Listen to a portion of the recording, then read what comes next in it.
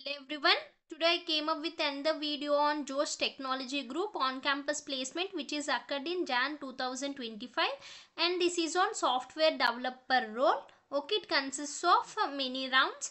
For the for now we are going to see what are round 1, round 2 and round 3. Round 1 is on pseudo codes on C++ and C.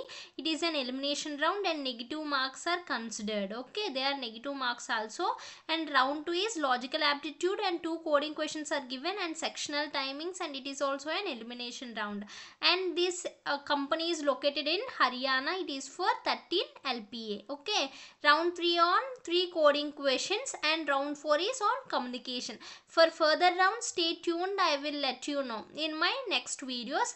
And the full videos are uploaded in my youtube channel. Please go and watch and subscribe my to my channel. And thank you. Hit a like.